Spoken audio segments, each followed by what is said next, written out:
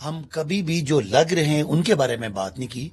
हमने कहा लगाने वाला करप्ट डिक्लेयर्ड एक पेशावर मुजरिम जिसकी वीडियोस दिखा के दुनिया में पढ़ाइयाँ जाती हैं करप्शन अगर वो करेगा तो हमें एतराज़ होगा और वो एतराज़ कभी भी लगने वालों पे नहीं था। लगाने वालों पे था तरीकाकार पे था कि नवाज़ शरीफ कौन होते हैं इस मुल्क के आर्मी चीफ के बारे में डिस्कशन करने। इसलिए इमरान खान ने बात की अरशद शरीफ को यहाँ धमकियाँ मिली नौकरी से निकाला हमने तो बहुत- हो गया, पता नहीं आपने क्या किया। हम उनके तो साथ हैं और किसी पॉलिटिकल गए कि पार्टी साहब को हाईजैक नहीं करने देंगे उसके कत्ल को। जिन पोलिटिकल नाहक को किसी पोलिटिकल पार्टी को हाईजैक पॉलिटिकल पार्टी ने मारा आपको ये बात पता है? हाँ। एक पॉलिटिकल पार्टी के? नवाज़ शरीफ ने मारे कल आपके टीवी ये आप टीवी पे बैठ के कह वो तो टीवी पे आया ना, आपको मैंने ये साबित करना पड़ेगा। वो साबित बंदा मौजूद है ना। आप इल्ज़ाम नहीं लगा तो सकते। इल्ज़ाम वाला बंदा लफ्ज इस्तेमाल करें इल्ज़ाम लगाया ना मेरी मार दिया उन्होंने। नहीं अब लफ्ज मुबैना और इल्ज़ाम मुबैना आप करें आपका हम काम भी कहते हैं कि आप मैं कह रहा हूँ उस आदमी का जिसने बरतानिया में कहा है कि अरशद शरीफ को नवाज़ शरीफ ने मरवाया उसका तहकीकात करें। इल्ज़ाम लगाया।